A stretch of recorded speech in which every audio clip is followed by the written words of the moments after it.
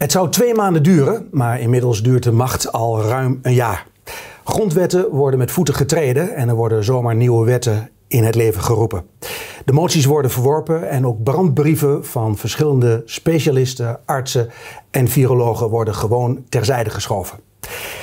Ja, de macht neemt toe en dat moet stoppen. En daar is mijn gast over van mening dat dat zou moeten gebeuren. Hartelijk welkom, Lucas Hartong. Dankjewel. Ja, um, misschien leuk om eventjes iets van jou te horen en uh, te vernemen wie je bent en wat je doet. Ja, nou, ik heb na mijn middelbare schoolopleiding uh, gekozen voor uh, journalistiek. De trainingen ontvangen, met name in het buitenland. Um, ben teruggekomen, ben actief geraakt, vooral in het schrijven van columns. Erg leuk om te doen. En vervolgens kwam er een bevriend uh, columnist langs uh, Bart-Jan Spruit, die destijds uh, ook al voor Elsevier actief was en die aan de wieg stond mede van, van de PVV. Mm-hmm. En mij vroeg, joh, zou je interesse hebben gezien jouw maatschappelijke betrokkenheid die in je columns tot uiting komt? om eens na te denken over een, over politieke functie. En ik had toen net ook een avontuur met de LPF achter de rug. Ja, dat was in 2002. Dat was eigenlijk mijn eerste liefde.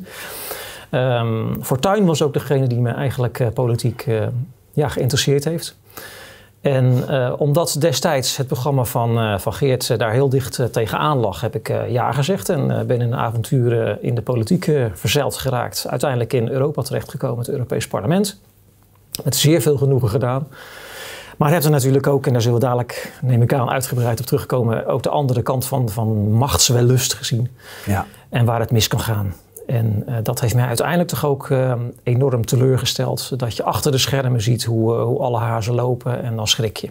Ja. En, nou ja, we gaan het vandaag hebben natuurlijk over de rechtsstaat, of die er nog wel is. Ja. En met name ook aandacht besteden aan Europa, waar je heel veel ervaring hebt mm-hmm. opgedaan.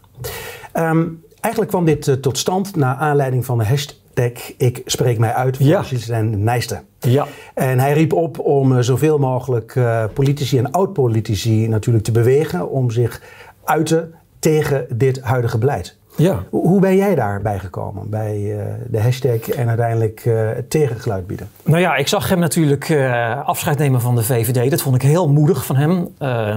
Ehm, en dat heb ik hem ook gelijk laten weten. En een paar dagen later kwam hij met het idee om een aantal uh, actieve politici, maar ook oud-politici te vragen, zich inderdaad uit te gaan spreken over het huidige kabinetsbeleid. Ja. Toen heb ik hem direct benaderd. Ik zeg: Ik doe mee. Uh, omdat ik geloof in integere politiek. Uh, en dat zie ik op dit moment niet in Den Haag en zeker niet in Brussel. En uh, ik het ook erg moedig van hem vond en hem graag wilde steunen in zijn, zijn drive om, om die integerheid, integriteit weer terug te brengen in, in de politiek. En vandaar uh, dat uh, hij toen kwam met een hashtag ik spreek me uit. En ik heb me aangesloten. En tot mijn stomme verbazing was ik, voor zover ik bijna weet, in ieder geval een van de zeer weinige politici die zich inderdaad heeft uitgesproken. Ja, ja. ja en dat, dat geeft toch wel zorg. Ja, ja, absoluut. Ja. Nu, nu zijn we natuurlijk alweer een paar weken verder. Op de dag zelf ging het uh, trending. En Heel hard. Er veel mensen ja. die zich direct uh, ja. eigenlijk uiten in en over de hashtag. Um, wat, wat, zijn nog meer namen geweest die jij in die periode gehoord hebt? Want er zijn natuurlijk wel verschillende mensen geweest die zich hebben geuit in die, uh, in een paar weken geleden. Uh, nou, als je dat even, even breder trekt, dan zie je natuurlijk ook best wel een aantal Haagse politici die al jaren roepen het moet anders. Ja.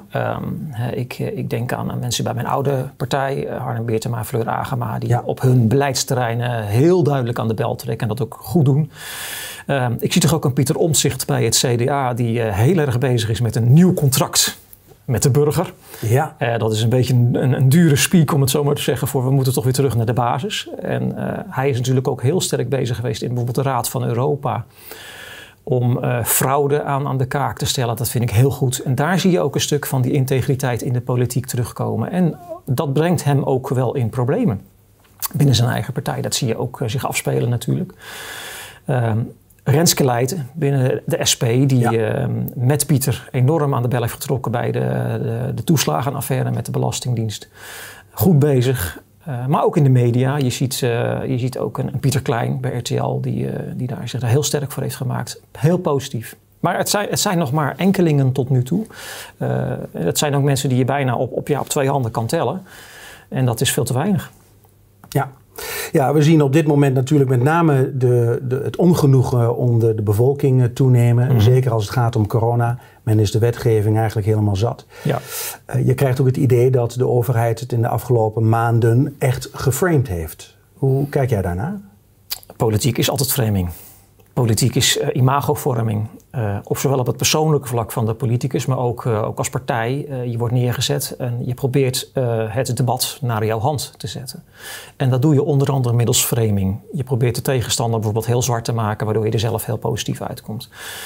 Um, en dat is misschien ook wel um, het enorme manco van de politiek vandaag de dag. Uh, partijen zijn veel meer bezig om zichzelf te profileren door zich af te zetten tegen. Dat zie je bijvoorbeeld heel sterk bij een, een D66, die eigenlijk steeds meer alleen bestaansrecht heeft om zich af te zetten, bijvoorbeeld tegen een Forum voor Democratie en een PVV.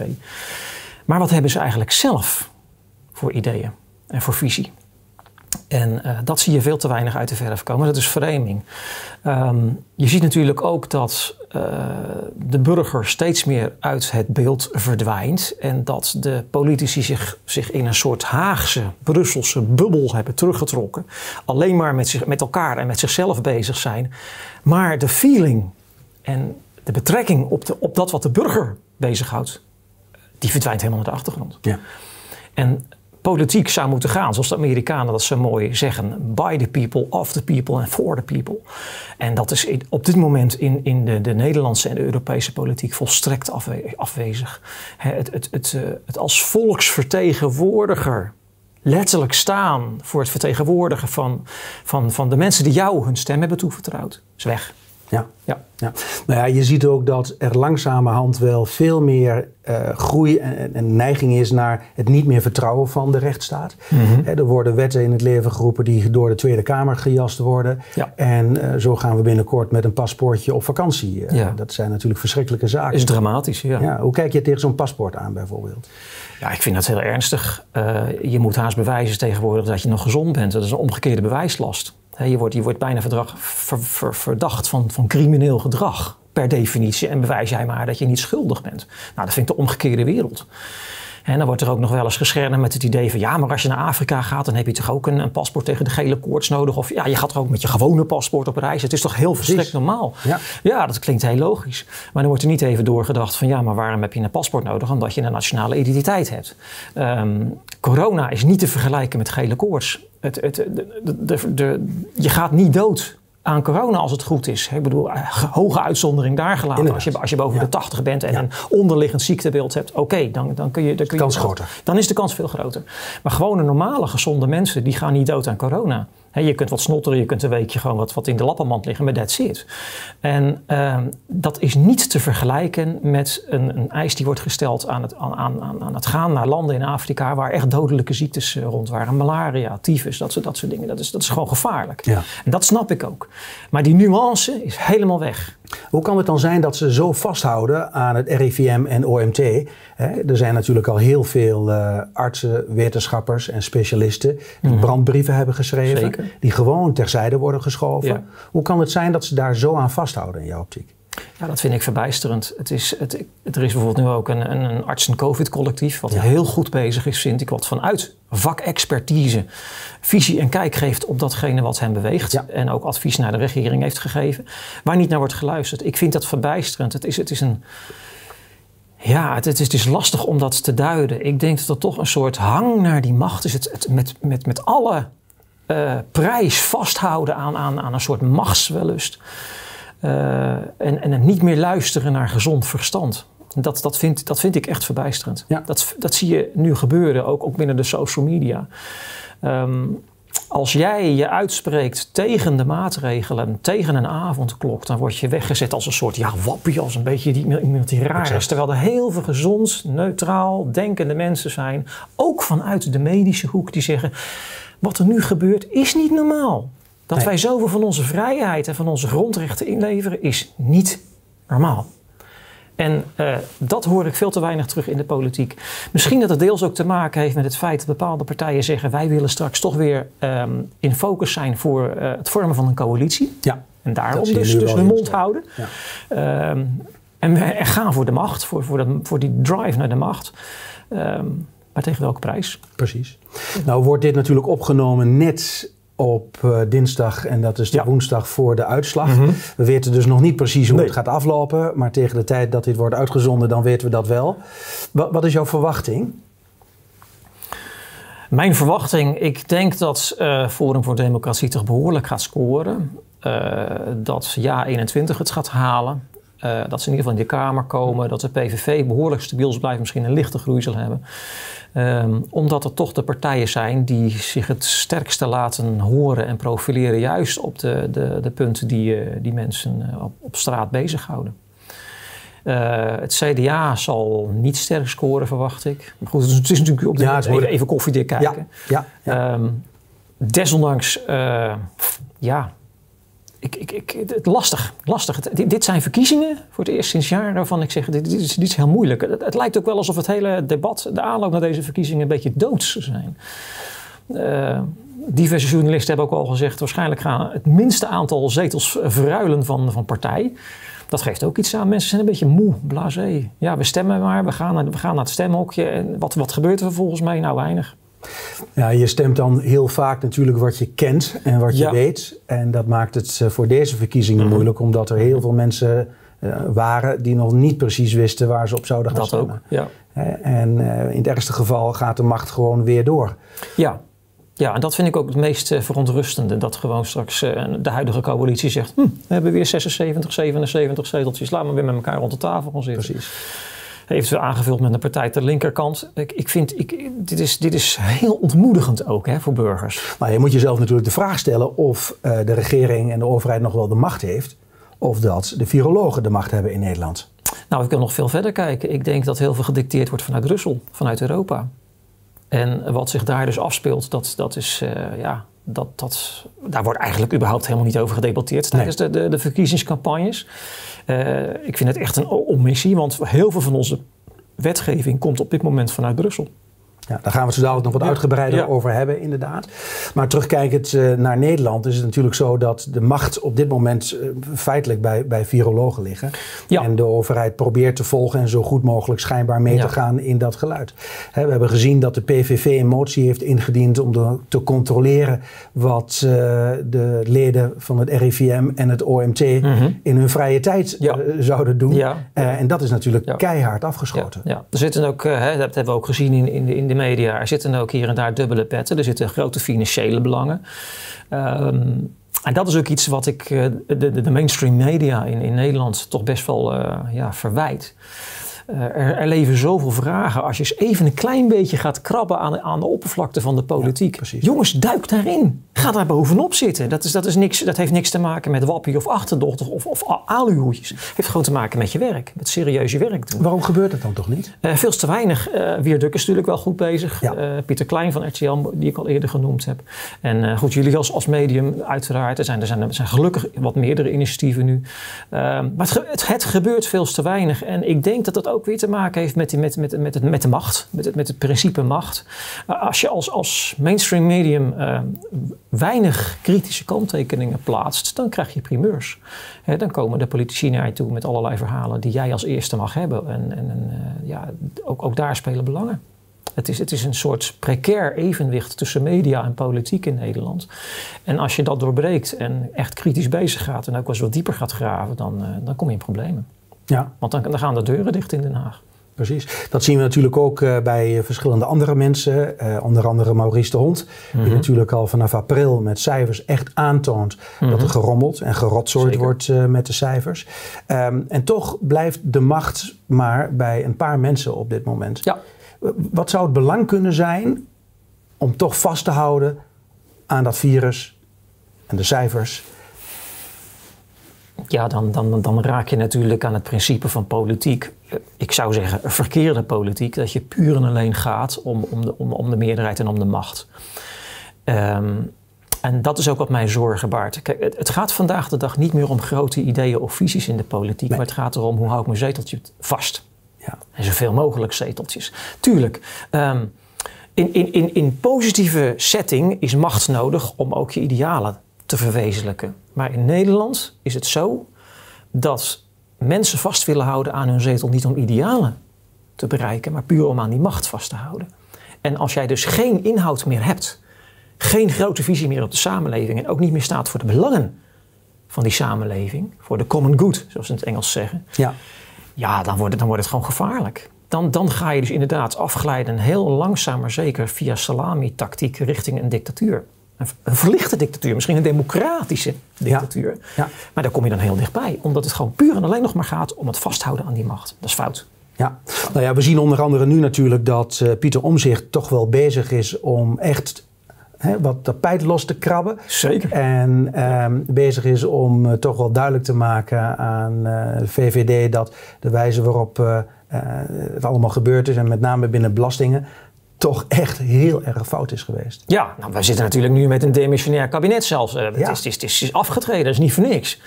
Daar gaat het ook niet over in de verkiezingscampagne. Gek, hè? Dat is heel, heel bijzonder. Heel bijzonder, heel bizar. Um, het, het, het, lijkt wel alsof Rutte dat allemaal heel vakkundig heeft kunnen omzeilen. En, en het eigenlijk, ja, het, het, gaat er helemaal niet over. Dat is, dat is bizar. Het is echt bizar. Um, maar Pieter Omzicht um, wordt niet door zijn eigen partij ondersteunt in het streven naar het aan de kaak stellen van fraude.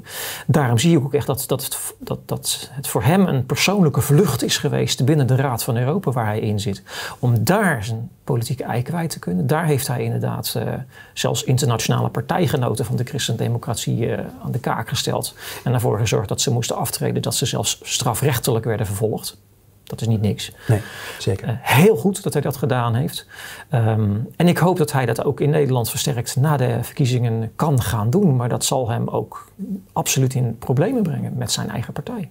Ja, nou ja, de wetten worden natuurlijk uh, overtreden, zeker bij de Belastingdienst. En je zou eigenlijk moeten stellen om, om in die bovenste laag echt iedereen eruit uh, te moeten mikken. Mm -hmm. um, de vraag is natuurlijk, als uh, het kabinet blijft zitten, of er dan ook echt wel wat gaat veranderen. Hè? Want Rutte roept natuurlijk, ik ga dat echt allemaal veranderen. Maar de vraag is wat er nog meer natuurlijk uit de kast gaat komen aan lijken. En hoe onze Rutte daarop dan gaat reageren.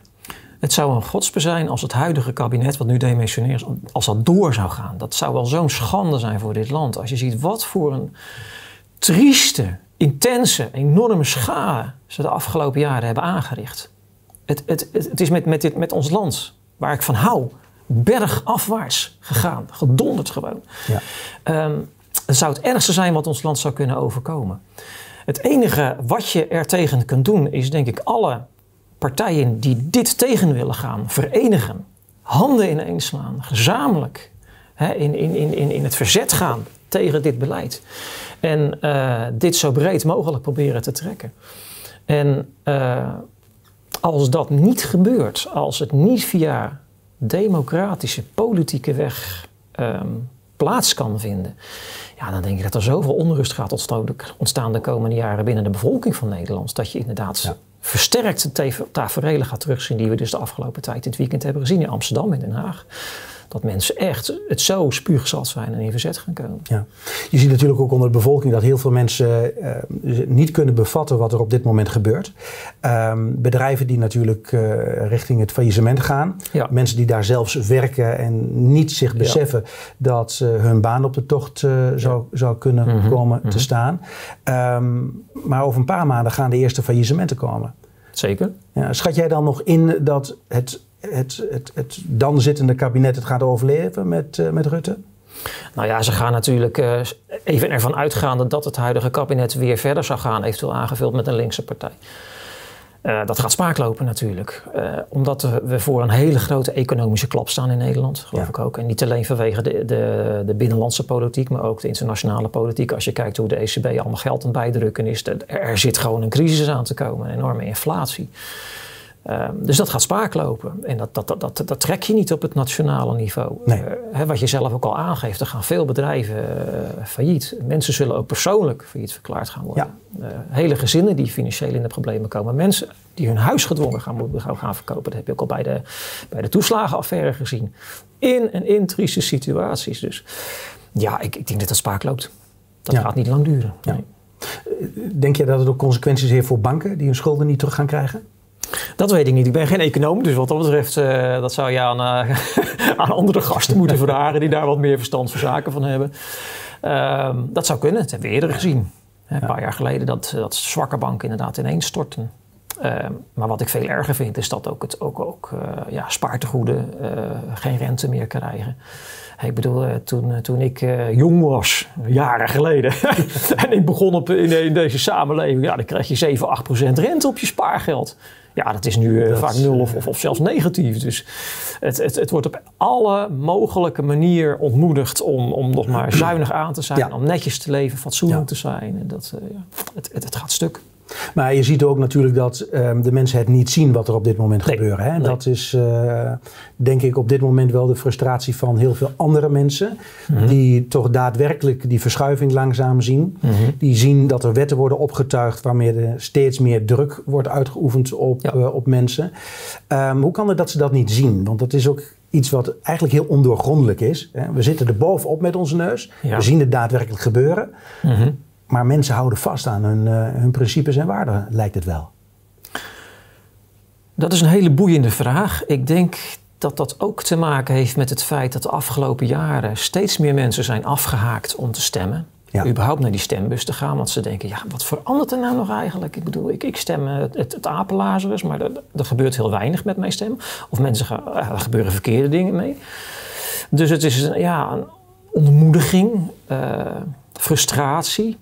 Uh, en dat zie je ook wel terug, denk ik, in dat de, de nieuwe partijen die deel, deelnemen hebben, hebben genomen aan de verkiezingen, dat die toch wel meer stemmen weer gaan krijgen. Dat is hoopgevend. Um, en ik denk ook dat als mensen niet zwaar persoonlijk in hun eigen portemonnee worden geraakt, dat ze blijven stemmen op de zittende partijen. He, mijn opa stemde erop, mijn vader stemde erop. Dus en ik stem er ook op. Ik ga me ook niet verdiepen in al die programma's, vind ik wel moeilijk. Rutte is toch een hele aardige man, heeft het toch niet slecht gedaan. He, hij staat er toch maar weer in, ja. in de discussie, in het debat en in de corona en dit en dat. Ja, zo wordt er gedacht. Ja. Door een groot aantal mensen. En uh, ook dat is frustrerend. Dat heb ik dus ook in, in Brussel meegemaakt. Dat er, dat er gewoon gestemd wordt op partijen die nog meer Europa willen. Ja. Ja. Ik, ik, ja. Om maar even de brug ook te maken dan naar uh, Europa. Ja. We hebben natuurlijk heel vaak het idee dat wij hier in Nederland nog uh, onze eigen macht kunnen uitoefenen. Mm -hmm. uh, je hebt een vier jaar in, in Europa ja. gezeten als Europarlementariër. Mm -hmm. En dan zie je dus dat de macht veel meer naar Brussel is gegaan. Hebben wij hier nog wel mogelijkheden om ons zelf macht toe te eigenen? Heel weinig heel weinig. Uh, er zijn sowieso een heel aantal gebieden waar uh, eigenlijk het alleenrecht voor, uh, voor wetgeving in Europa ligt. Ja. er zijn nog een paar dingen die we zelf mogen doen, bijvoorbeeld belastingen. en, en ja, als, in, in, in, noodgeval, uitsluitend in noodgevallen, mag je de grens nog bewaken. Maar verder, dat is ook allemaal naar Brussel overgeheveld. sport was nog uit, uitgezonderd, maar ook daar is Brussel ondertussen alweer mee bezig. Ja. Dus ja, het, het, het, het wordt steeds minder.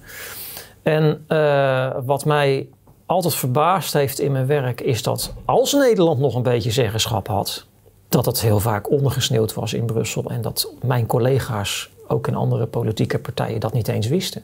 Ik heb één concreet voorbeeld. de Hedwiegepolder, die moesten onder water gezet worden, riep iedereen heel hard. Ja, dat. Moest, dat moest van Brussel. Ja. Nou, ik heb toen de eurocommissaris persoonlijk benaderd en die zegt dat is helemaal niet waar. Daar gaat het Nederlandse kabinet over. Alleen wij kijken mee hè, vanuit Natura 2000 wetgeving. Maar het is, het is, het is up to the de, de, de, nationale member state om, om, om dat te besluiten. Nou, dat, dat heeft me verbijsterd. Daar ben ik toen gelijk mee naar Den Haag gegaan. Ik heb gezegd, joh, ik heb hier schriftelijk bewijs van de eurocommissaris als Nederland erover gaat.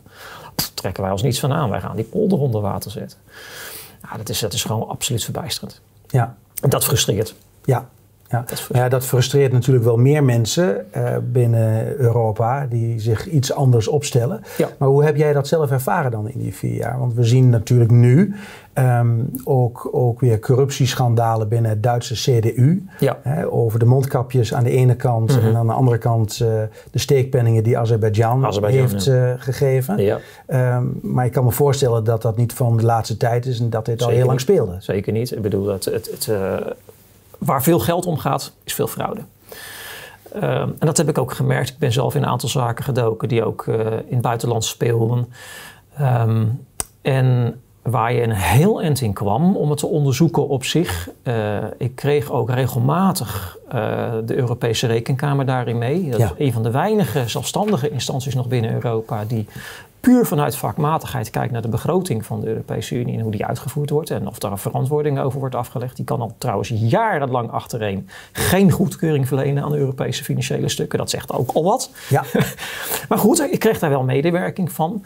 En dan loop je uiteindelijk aan tegen een stemming in de begrotingscontrolecommissie van het Europees Parlement. Uh, waar je dan je zegje doet en zegt: luister eens jongens, ik heb hier bewijs, ik heb hier stukken liggen dat er gefraudeerd is.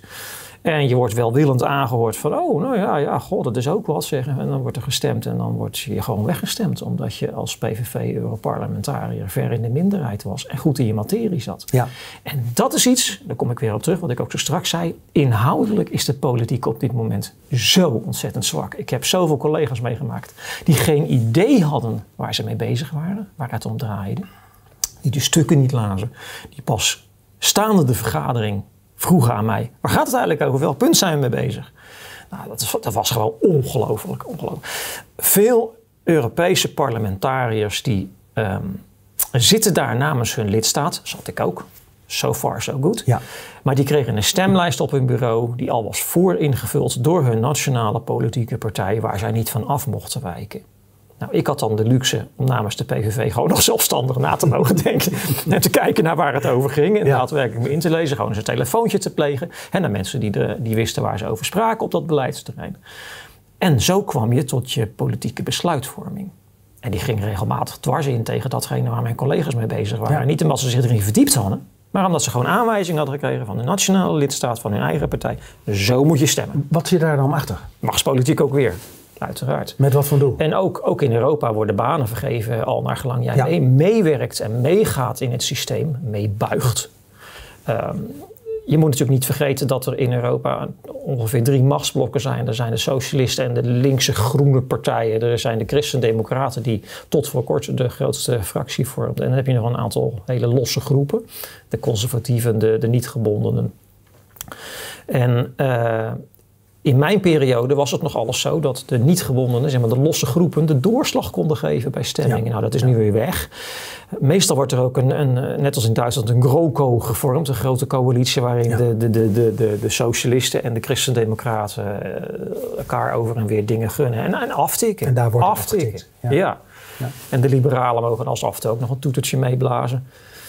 Ehm, en je moet een beetje lief zijn voor elkaar, want daarmee krijg je een rijk gevulde dis aan uh, goed betaalde banen en functies en wordt de macht verdeeld. Ja, en is dat ook een plek waar corruptie natuurlijk uh, behoorlijk kan plaatsvinden? En dat wordt ook afgedekt vanwege het grote geld. Ja, ja. Nou ja, Follow the Money doet natuurlijk elk jaar uh, onderzoeken.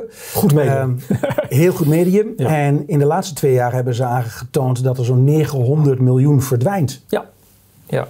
Ja, ja, verbaast me niks. Dat is serieus, uh, serieus geld. Ik heb een uh, heel uh, stug voorbeeld meegemaakt. Op een gegeven moment kwam de Europese Rekenkamer met een jaarlijkse rapportage over de, over de regiofondsen. En daar was een fonds bestemd voor medici om hun patiënten op het platteland te kunnen bedienen.